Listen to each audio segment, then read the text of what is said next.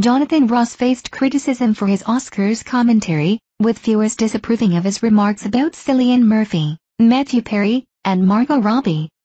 During the coverage, Ross repeatedly referred to Irish actor Cillian Murphy as British, causing annoyance among viewers.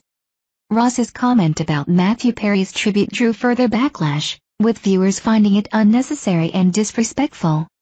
Additionally, an old-time joke about Margot Robbie wearing black led to more criticism of Ross's hosting. Despite the negative reception of the Oscars coverage, the event itself featured notable moments, including Oppenheimer's success and Ryan Gosling's standing ovation for his performance in I'm Just Ken.